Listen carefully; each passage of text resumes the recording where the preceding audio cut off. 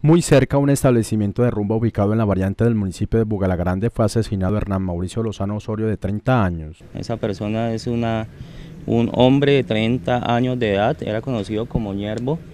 Eh, esta persona eh, muere en el lugar de los hechos eh, a causa de las heridas ocasionadas con arma de fuego.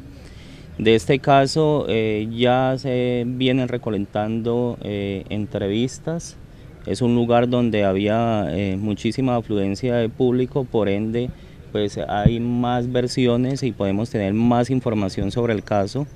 Fuera de eso eh, estamos en la recolección de videos eh, de este sector que nos pueden ayudar a, esclarecer este caso como tal.